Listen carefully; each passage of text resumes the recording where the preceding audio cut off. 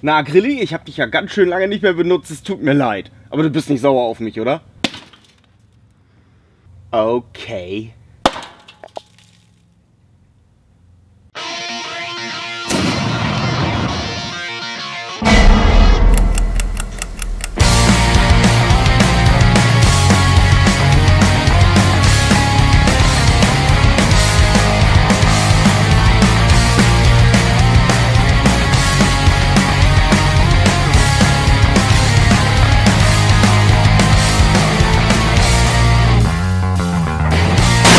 Moin! Hallo zu Tom kocht. Oder besser gesagt Tom grillt, denn dieses Jahr, 2018, gibt es tatsächlich das sehr oft gewünschte Grill-Special. Und was machen wir heute? Ist doch ganz klar.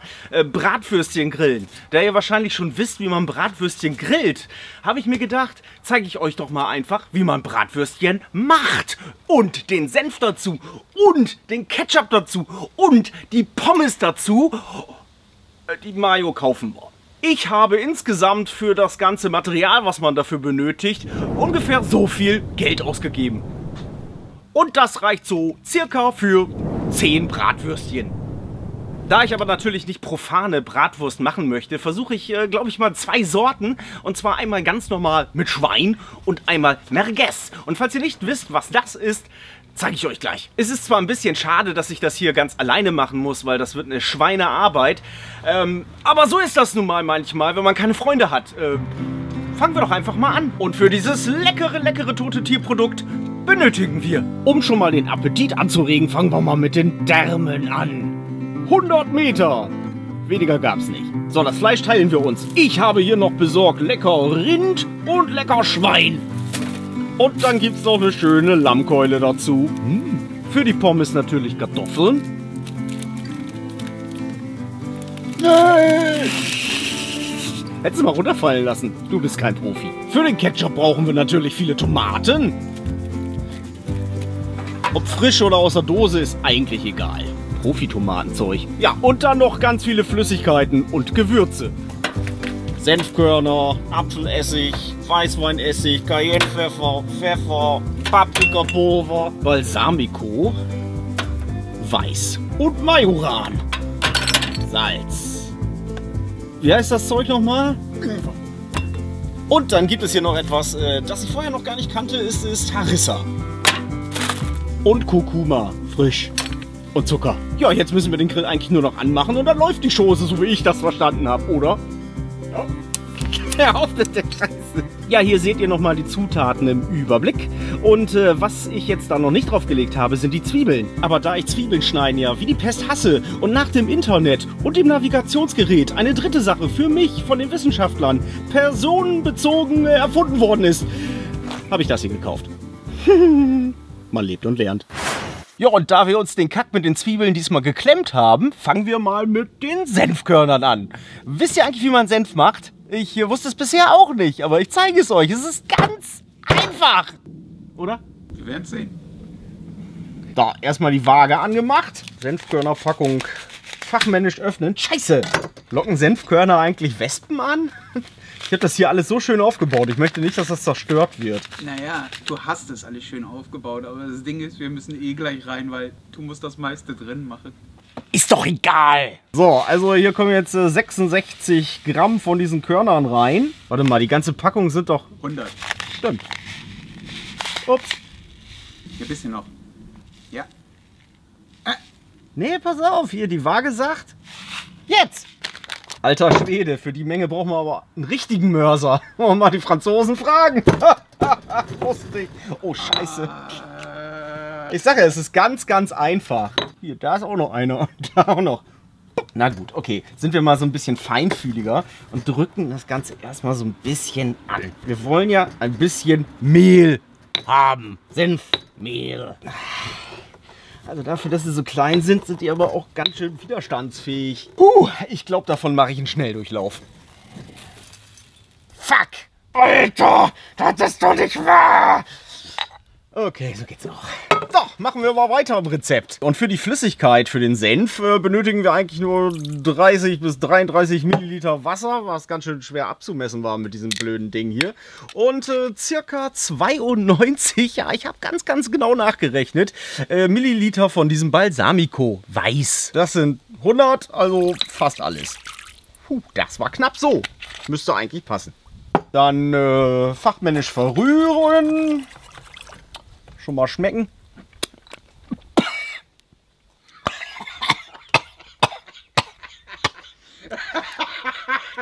Tut es einfach nicht. Tut es einfach nicht. Aber so ein Balsamico ist ja schon ein bisschen süßer als normales Weißweinessig. Ne? Also ihr könnt natürlich auch einfach Weißweinessig nehmen, aber hier habt ihr eher die mediterrane Sorte dann. Äh, ja, schmeckt vielleicht ein bisschen runter. Keine Ahnung. Und als wenn das nicht schon süß genug wäre, kommen da jetzt noch 60 Gramm Zucker rein. Ne, Mist. Das waren 40 Gramm. Nein, das waren 20 Gramm. Scheiße. Ja, ich weiß, das sieht manchmal hier einfach so, ja, nach Absicht aus, um einen lustigen Gag für die Kamera zu machen. Aber nein, es ist einfach blanke Idiotie. Gut, so müsste es gehen. Dann haue ich hier noch den restlichen Balsamico rein. Und vielleicht noch ein bisschen Wasser. Und ein bisschen Salz. So viel ungefähr. Also eigentlich viel weniger. Und wie geht's voran mit den Senfkörnern? Ich sag nur, der Nachbar scheint eine Säge zu haben. Vielleicht sollten wir den mal fragen. Halt die Fresse. So, jetzt nehmen wir noch ein bisschen Kurkuma hier. Das ist dann für die Farbe. Das sieht so aus, wenn es frisch ist. Ihr könnt natürlich auch Pulver nehmen. Ah, und das färbt ganz dolle, wie ihr hier seht. Das ist ja klasse. Das tue ich hier schon mal rein. So, äh, so, ein, so ein Knützel hier. Sieht ein bisschen aus wie Karotte, ne? Du weißt, dass man Kurkuma von den Fingern nicht abkriegt. Gut, dass du es jetzt schon sagst. Oh, Ja. Okay, äh, und das kochen wir jetzt mal eben kurz auf. Ja, nach einer halben Stunde sieht das schon ganz gut aus. Ich gehe mal so lang rein, ne? So, dann nehmen wir hier so einen Stieltopf und kochen das Gebräu, was wir gerade zusammengemischt haben, ein bisschen auf. Erstmal noch ein bisschen schwenken. Und wenn ihr jetzt sagt, Tom, das hättest du doch auch in einem Stieltopf schon anrühren können, dann äh, sage ich, ja, habt ihr völlig recht. Ihr seid mir mal wieder weit voraus. Bisschen rühren und mal gucken, was passiert. Es muss übrigens so ein Besen sein, der mit Gummi... Das war keine gute Idee. So, das muss jetzt noch ein bisschen heiß werden und vor sich hin blubbern. Muss es überhaupt blubbern? Ja, in mehreren Rezepten steht, man soll es heiß werden lassen. Von Kochen steht da nichts. Deswegen drehe ich es jetzt lieber noch mal ein bisschen runter. So. Und bei näherer Betrachtung wäre Kurkuma-Pulver wahrscheinlich die richtige Wahl gewesen. Auch für die Finger. Bart Simpson. Okay, das kann jetzt kurz abkühlen. Auf ca. 30 Grad. So, das habe ich doch gut hingekriegt, oder? Ja, schwer zu sagen, ob das jetzt 30 Grad sind. Äh, man könnte natürlich einfach mal den Finger reinstecken und sagen, keine Ahnung. Kommt wohl irgendwie hin. So, das kommt dann hier rein. Hm. Und dann muss das 5 Minuten verrührt werden. Aber natürlich nicht mit so einem verkackten Schneebesen, sondern mit mehr Power.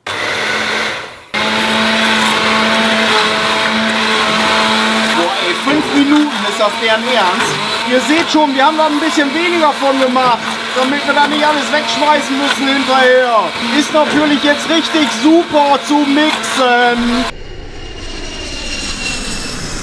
Also irgendwie ist mir noch nicht gelb genug, deswegen mache ich hier noch ein bisschen was von rein. So. Uh, Okidoki, Mann, Senf, toll!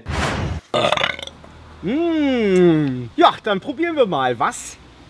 Bitteschön. Rein damit!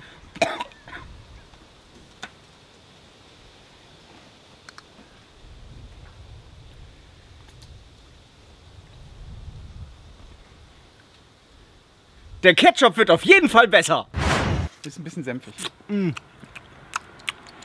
Bayerischer. Bayerischer Bayerischer Senf. Toll! Hallo. Ja, was man zu dem Senf noch mal sagen muss, der muss jetzt eigentlich noch mal zwei Tage ziehen, dann ist er nicht mehr so scharf. Und äh, Senfkörner sind gar nicht so scharf. Äh, man darf sie nur nicht in den Mund nehmen. So, kommen wir mal zum Ketchup. Äh, und zwar brauchen wir da jetzt erstmal Tomaten. Vollreif und in Stücken circa 750 Gramm. Machst du hier eigentlich den Strunk raus? Das ist ja widerwärtig. So, eine habe ich hier jetzt drin. Das sind wuh, 100 Gramm. Äh, der Rest kommt aus der Dose. Genauso gut. Ganz vorsichtig. Was haben wir jetzt? 750. Passt doch. Okay, dann schneide ich noch ein bisschen Ingwer. Ja, nach Entfernen der Schale. Ähm, Rezepte sprechen davon, man soll es klein schneiden. Das tue ich nicht. Denke deine Finger. Ich versuch's. Ich habe an die Finger gedacht, das hat trotzdem nicht funktioniert. Wie kann das sein? Massier das hier nochmal ein, so richtig so. Ein bisschen den Nackenwirbel auch. 12., 13. Gibt's 13 Nackenwirbel? Ich weiß es nicht.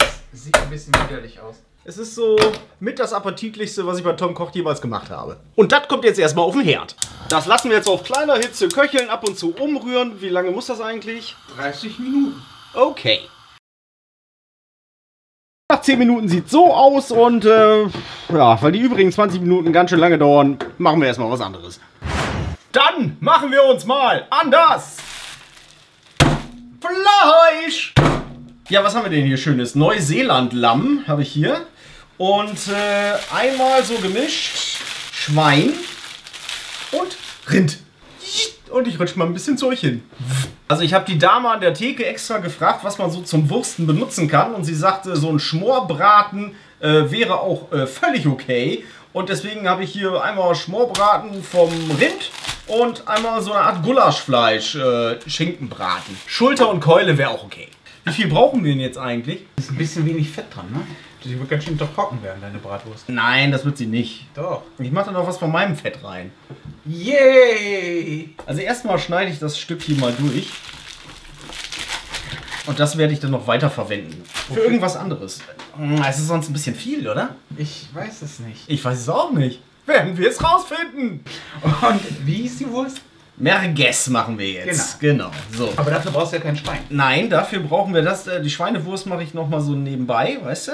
Willst du Äh, das ganze Lamm jetzt verarbeiten? Nein, natürlich nicht. Magst du Lamm überhaupt? Natürlich nicht.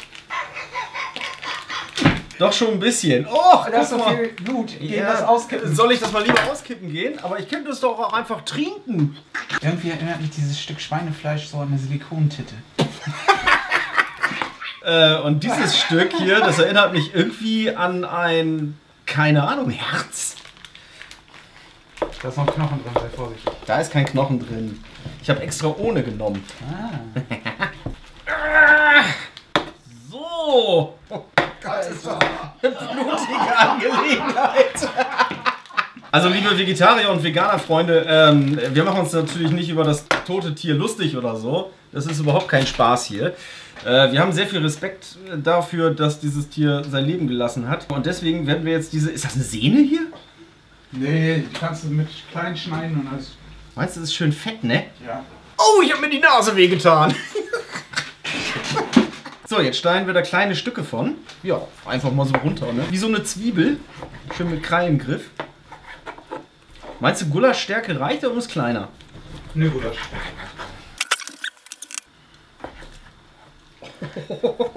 Da muss man ganz schön auf seine Finger aufpassen. Aber falls ich mir einen absäbeln sollte, packen wir den auch in die Wurst, oder? Würde ich sagen. Also, ich meine, wenn jemand sein wirklich eigenes Rezept haben will, mehr kann da nicht gehen. Nee. Und die Wurst, in der dann der Finger mit drin ist, die verlosen wir über YouTube. Das ist eine schöne Idee, aber ein bisschen möchte ich abbeißen davon.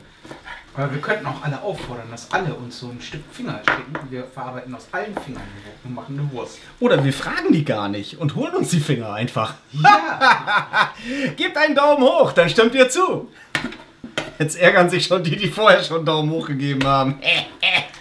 Ja, wie dem auch sei, also dieses Fleisch, das ist natürlich ganz frisch, war natürlich eingefroren, klar, äh, aber es riecht tatsächlich sehr, sehr frisch und es riecht auch vor allem so nicht nach Ochse oder sowas. Nee, Ochse ist ja Quatsch. Äh, Hammel, meine ich. Hast du schon mal Hammelfleisch probiert? Hammelfleisch ist so tranig und äh, ja, es äh, riecht und schmeckt nach Schafstall. Das ist aber eine Sehne, oder? Das kommt weg. Da. Ich glaube, so ein gestandener Fleischer würde mir raten, das Messer so in die Hand zu nehmen. So, ne? Und dann funktioniert das auch gleich viel besser. Und äh, vor allem funktioniert das viel besser, sich damit die Finger abzusäbeln, wenn man das nicht kann. Gut, das war schon mal äh, das Lamm. Ich weiß auch nicht, wie viel wir davon jetzt benutzt haben. Die Hälfte. Etwas mehr als die Hälfte. Also ich meine, es war so ungefähr genauso viel wie das hier. Und das Nein. sind 500 Gramm. Vorsicht mit deinen Fingern, verdammte Scheiße. find's mal lustig, wenn ich mitschneide. Und da bin ich nicht der Einzige, glaube ich. Also das ist jetzt hier das Rind, wie gesagt, ein ganz normaler Rinderbraten. Der war im Sonderangebot. So riecht es auch. Das ist einfach nicht wahr. Was machen wir jetzt eigentlich gleich mit den Stücken? Äh, vielleicht Küchenmaschine oder dann doch eher ein Wolf? Vielleicht können wir jetzt mit einem Stein wolfen. Das ist Wolfenstein. Nicht lustig, ne? Hab ich mir gedacht. Aber wenn wir das in dem kleinen Spielzeugschloss machen, ist es Castle Wolfenstein. Wenn wir das Carsten für uns machen lassen, dann ist es Carsten Wolfenstein. Ja. Was? Wer ist Carsten? Wir nähern uns der Zielgeraden. Zack. Jetzt haben wir ungefähr ein Kilo, halb halb, also halb Rind und halb Lamm. Und das müssen wir jetzt irgendwie zu einer Melange verarbeiten. Dann gehen wir mal einen Wolf suchen. Ja, such dir einen Wolf. Ja, den Wolf haben wir leider nicht gefunden. Dafür habe ich aber was anderes Cooles. Das Schweinefleisch haben wir uns ja noch gar nicht vorgenommen. Und das mache ich jetzt mal mit diesem tollen elektrischen Messer. Mal gucken, ob das besser ist. Ist es.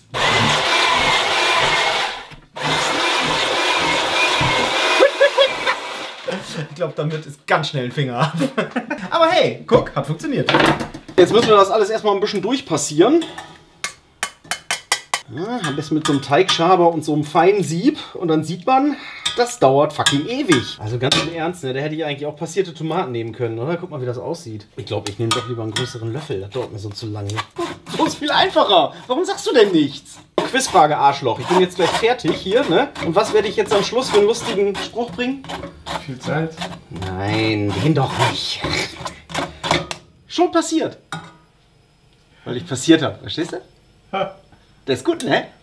Ha, Habe ich lange dran gearbeitet. das glaube ich. Noch Ich hatte auf schlaflose, deinen Bauch. schlaflose Nächte. Au!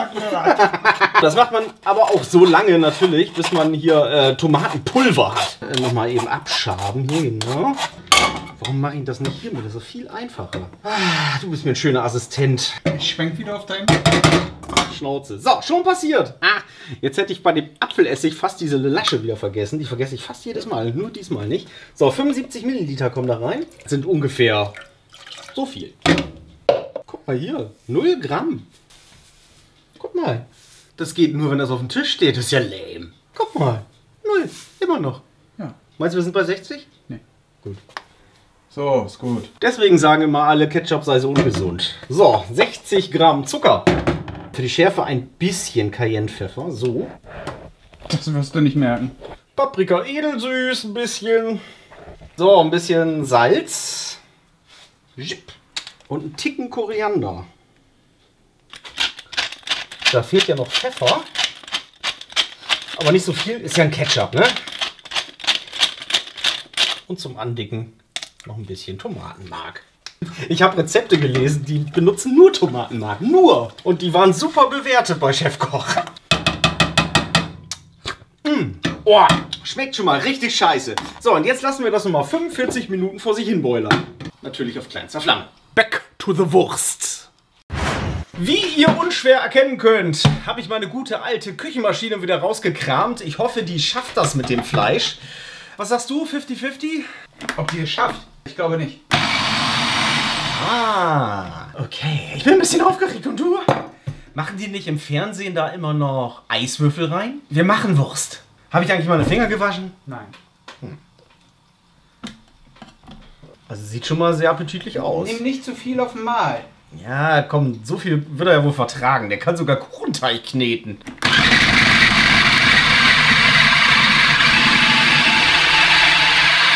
Ich finde, das macht er ganz gut. gut, ja. ja, auf jeden Fall. Komm, Eiswürfel. Mach mal bitte. Ja. Ich habe doch Fleisch an den Fingern. Und auf Würften. Da sind ganz viele Eiswürfel. Ja, wo denn? So, ein Eiswürfel, ein bisschen Fleisch. Ja, warte, bin ich schneller. Zwei Eiswürfel, ein bisschen Fleisch. Drei Eiswürfel und ein bisschen Fleisch. Und das ist das Rezept, meine lieben Freunde.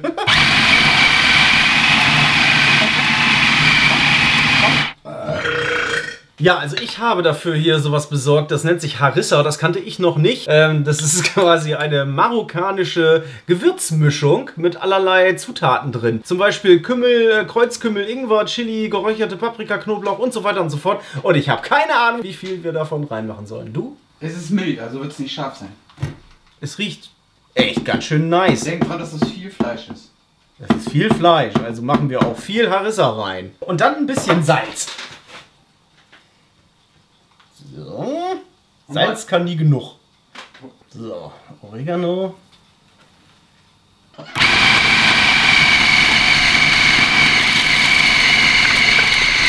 Ja, wer versteckt sich denn da feige hinterm Kühlschrank? Das gibt's ja wohl nicht. So, der Rest, also das ist so ein bisschen über ein Kilo jetzt.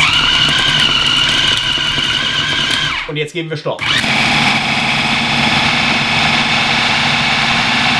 Der Tanz des Fleisches ist doch nicht wunderschön. Oh, oh riech mal, wie das riecht. Das ist ja äh, ganz fantastisch. Mm, mm, Ich probiere mal ein bisschen. Oh Mann, das ist aber sehr lecker. Ich habe aber keine Ahnung, ob das schon gut genug gewürzt ist. Und äh, deswegen tue ich das, was ich in solchen Fällen immer tue. Ich tue einfach noch mehr rein.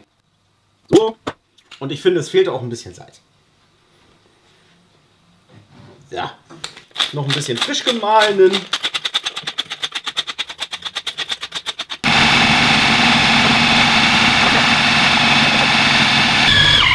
Und so viel zu der Frage, ob meine kleine Küchenmaschine das überhaupt schafft. Mm. Mm. Das kann ich mir sehr gut als Wurst vorstellen. Möchtest du auch ein bisschen probieren? Nee. Okay. Meine bescheidene Frage, ne? Wie kriegst du eigentlich Sachen in deinen Darm? So, die gute Nachricht ist, wir haben den Wolf wiedergefunden. Wir haben schon darüber nachgedacht, das einfach in einen Gefrierbeutel zu tun und dann so eine Art Tülle noch dazu zu benutzen, um das in den Darm reinzukriegen. Aber stattdessen habe ich hier so ein Tüllenset. Äh, der geht auf jeden handelsüblichen Wolf rauf. Naja, vielleicht auf nicht allen, jeden. Was ist das denn? Das Ding ist zu klein hier für die Tülle. Die Tülle ist im Grunde zu groß. Und wieder einmal sieht man, Improvisation ist das Allerwichtigste in der Küche. Scheiße, was muss vorher rein? so, was ist denn dicker? Wir haben, glaube ich, so ein dickes Ding. Äh, Das das dickste, was wir finden. So. Fehlt nur noch der Darm. Ich glaube, nach dieser Folge werde ich nie wieder Würste essen.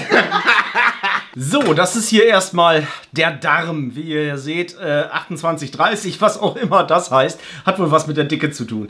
Ich musste hier tatsächlich äh, 100 Meter Darm kaufen. Äh, das war die kleinste Größe, die sie hatten. Hat äh, mit Mehrwertsteuer so ungefähr 30 Euro gekostet. Ich hoffe, das war es wert. Das soll sich auch sehr lange halten in Salzlage und wir brauchen ja keine 100 Meter, oder? Darmlake. Lecker. Nimm mal einen Schluck. Mm, guck mal hier, da ist so ein, so, ein, so ein Ding drin. Ah, das ist ja praktisch. Guck mal. Da kann man sich das auch schön um den Hals hängen. Okay, wir haben euch jetzt noch mal ein bisschen näher rangeholt hier, damit ihr es auch gut sehen könnt. Ähm, irgendwo muss hier der Anfang sein jetzt von dem Darm. Äh, ich hoffe, sie haben ihn von Kotresten gereinigt. Ähm, wie stellen die sich denn das vor? Soll ich jetzt echt den ganzen Darm hier rausziehen? Ah, guck mal, hier, da ist der Anfang. Da, Darm mit Charme. Und äh, den schneidet man den jetzt einfach so durch oder so? Ich habe keine Ahnung. Du musst den da Oh, überstülpen. es ist wirklich sehr viel Darm. Guck mal. ich habe keine Ahnung. Also- Stülpen rüber. Das zerfasert sehr, oder? Das kann doch nicht normal nee, sein. es ist doch ein, ein Teil. So, dass du es da rüberstülpen kannst. Rüberstülpen? Oh, du musst doch über das Teil alles rüberstülpen. Ja, das weiß ich doch, dass ich das muss, aber sag mir mal bitte, wie das gehen soll. Mm, Du wolltest Wurst machen. Also ich könnte mir vorstellen, dass, dass, dass sowas hier, ne, so, ein- so ein Ding hier, Das dass ist- das schon ein Stück Darm ist. Ja, ne? ist es doch auch. ja, okay. Und jetzt musst du das nur. Wie lange machen wir es denn? Wie lange machen wir es denn? Hier so? Wo ist denn hier der Anfang? Wo ging denn die AA rein? Hier! Das muss rüber. Und jetzt musst du ganz Ah. viel rüberstülpen. Ganz viel Da rüberziehen. muss man bestimmt sehr vorsichtig sein, ne? Das ist natürlich für mich ein bisschen ein Problem auch. Alles, was du da hast, muss da rüber. Ja, ich versuch's auch. Wirklich, die ganzen 100 Meter? Bist du wahnsinnig? So, okay. Noch mehr. Nein, das. Mehr habe ich doch nicht. Oder ach so meinst du? Ja gut, okay, ich versuch's mal. Ja, ich mache diese Sendung ja auch äh, hauptsächlich dafür, dass äh, Leute, die da Ahnung von haben, sich die Haare so schön raufen können und äh, dann so, ein- so ein Negativbeispiel auch haben, so, ne? Und dann sagen, guck mal hier, Jungs und Mädels, so macht man's nicht. Aber zumindest hat der Junge irgendwie ein bisschen Mut, das mal selber auszuprobieren, Mann.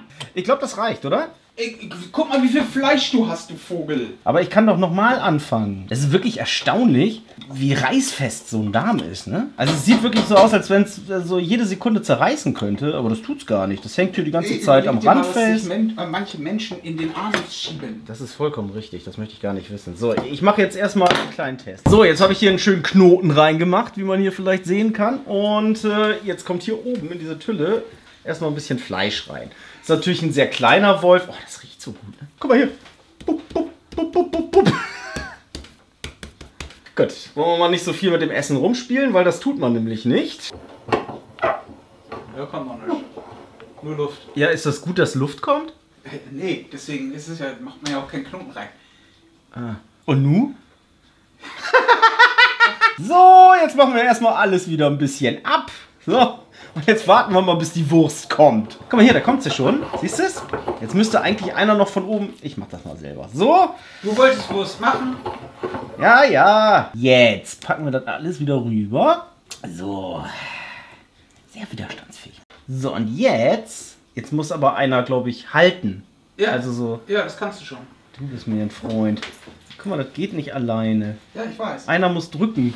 Ja, dann drückst du und ich kurbel. Hast du Handschuhe? Brauche ich nicht. Ja, aber für mich. Brauchst du nicht. Ja, will ich aber. Sonst nimm doch so, ein, so eine Mülltüte und drück von oben da drauf. Ja, so ist das gut. So ist das gut. Oder? Und jetzt muss man hier nämlich so auch ein bisschen ziehen, glaube ich, ne? Wie lange soll sie denn werden, die selbstgemachte Merguez? Ja, das sollte erstmal lang. So, okay, und jetzt macht man so ein bisschen ab, ne? Keine Ahnung. Und dann dreht man, glaube ich, nur, ne? Wir machen ja noch eine, mindestens. Mindestens eigentlich 15. Keine Ahnung.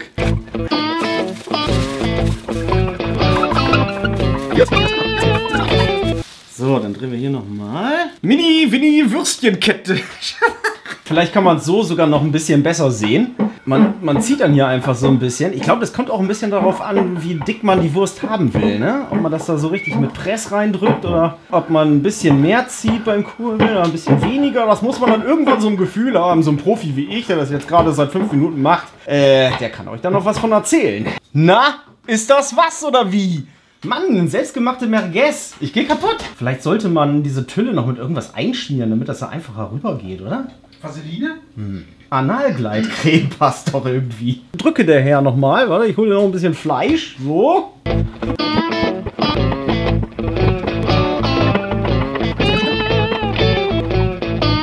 Ja, jetzt wo ich weiß, wie fest so ein Darm ist, äh, gibt es aber keine Ausreden mehr. Mann, damit können wir so einige Würste machen, oder? Guess. Nein, Merguez. Guck mal, geht schon geschmeidiger von der Hand, oder? Habe ich übrigens schon erwähnt, dass das Schweinedarm ist? Jetzt, jetzt habe ich es erwähnt. Also ich glaube, ohne Wolf wäre das ganz schön anstrengend geworden, oder? Ich glaube, das letzte Mal, als wir Shivapchichi gemacht haben, da hatten wir den auch schon mal benutzt, kann das sein? Ja. Geil. Schaut, Tom kocht Shivapchichi mit Stargast Mirko. Und äh, bei der Schweinewurst, da werde ich jetzt mal ein bisschen improvisieren, damit es ein bisschen schneller geht. Ähm, kommen dann noch oh, sehr viele. Das wird eine Zwiebelwurst. Ordentlich Mayo ran. So. Paprikapulver. Ordentlichen Schuss Salz. Und auch das ist ein halbes Kilo. Darf man nicht vergessen. Oh, bisschen groben Pfeffer noch. So. Ach so, hier. Mehr Gessrest.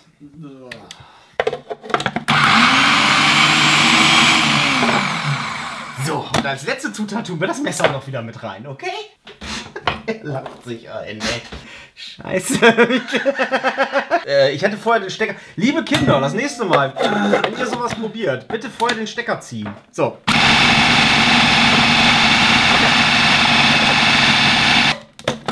Oh, die riecht aber auch richtig gut. Überhaupt nicht nach Bratwurst oder so. Ich, ich weiß nicht, wonach es riecht, aber äh, es ist eben ähm, Toms Spezialwurst.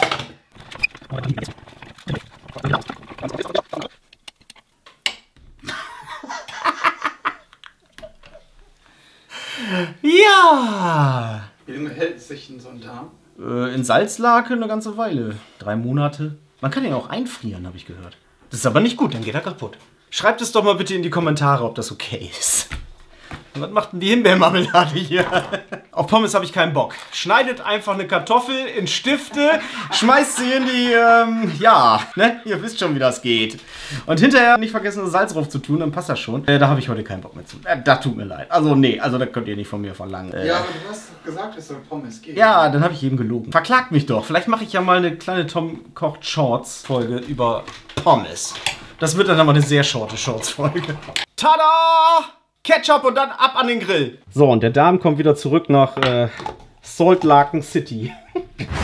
Die einfachste Methode, so einen Grill anzukriegen bzw. die Kohlen heiß zu machen, ist Grillanzünder an und diesen Kamin verwenden. Zack, 20 Minuten später Kohle fertig. So, und hier kommt der selbstgemachte Ketchup. Jetzt noch mal kurz probiert.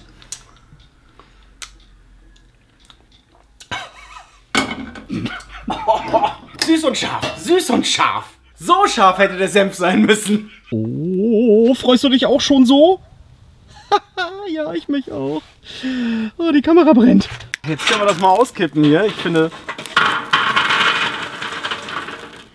das sieht wunderschön aus. Ja, super. Entschuldigung. Jetzt ist aber auch genug. Ist dir übrigens schon aufgefallen, wie wunderschön sauber dieser Grill ist? Schau mal hier. Also ich mache ihn jetzt noch ein bisschen sauber.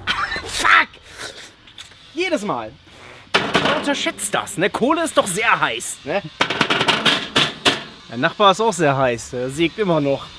Ja, so mache ich meinen Grill an und äh, ich würde mal sagen, jetzt kommt die Wurst drauf. Ich weiß nicht, ob man das hinterher noch auseinanderhalten können wird, aber das sind die Schweinewürstchen. Und das ist zum Beispiel Merguez. Wir finden für jede einen Platz. Oh scheiße, das sind vier. das geht nicht.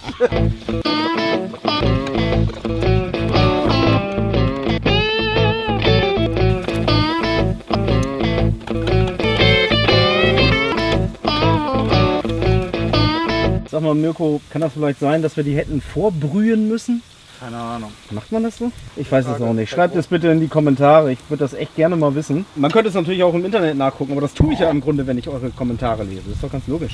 Noch ein kleiner Grilltipp. Wenn da ganz viel Asche auf den Kohlen ist, dann packt einfach hier euren äh, Grillnier raus und haut ein bisschen drauf. Grillnier, verstehst du? Gucken wir mal, ob die schon fertig sind. Oh, sieht gut durch aus, oder? No. Probier mal. Na komm, trau dich. Soll ich? Vielleicht ein bisschen Senf dazu? Was? Ist okay. Wie ihr seht, äh, die Würstchen sind fertig, sind eine ganze Menge geworden mit einem Kilo Fleisch. Und jetzt würde ich mal sagen, zu Tisch. Ich glaube, es wird Regen geben. Lasst uns essen. Ich probiere hier mal die Merguez. Mit ein bisschen Senf. Und ein bisschen Ketchup. Oh, die erste Wespe des Tages. Toll. Also, ich habe ja eben die Schweinewurst gegessen. Mhm. Und wenn ich ehrlich bin, fand ich sie auch nur geht so, was ich auch gesagt habe. Was ich wieder doof fand. Ja. Aber ob du es glaubst oder nicht, es fehlte Salz. Echt? Salz. Mhm. Okay. Bei der Merguez komischerweise auch, oder? Aber die schmeckt gut. Also die schmeckt echt gut. Aber es fehlt echt Salz. Und ein bisschen trocken ist ist zu wenig Fett. Zu wenig Fett. Wir können also festhalten, der Senf ist zu süß geworden, der Ketchup ist viel zu scharf geworden und die Würste sind ein bisschen zu trocken geworden und es fehlte Salz. Ansonsten hat sich das Ganze aber mehr als gelohnt. Es ist sehr, sehr lecker. Und jetzt versuche ich auch nochmal hier so ein Schweineding. Oder würde ich mal sagen, ne? Jetzt essen wir erstmal. Ja. Das Gute daran mit der Wurst ist ja, dass du es in den nächsten Wochen ja echt verfeinern kannst. Mm, Ich habe jetzt nur noch ungefähr 98 Meter. Insofern schwierig wird das, bis ich das verfeinert habe. Falls euch das Video gefallen hat, gebt einen Daumen hoch, ähm, abonniert den Kanal. Nein, tut es nicht. Wenn ihr einen Daumen hoch gebt, verarbeiten wir eure Daumen. Ach ja, richtig, haben wir vergessen zu sagen. Falls euch das das wert ist, macht das einfach. Guten Appetit!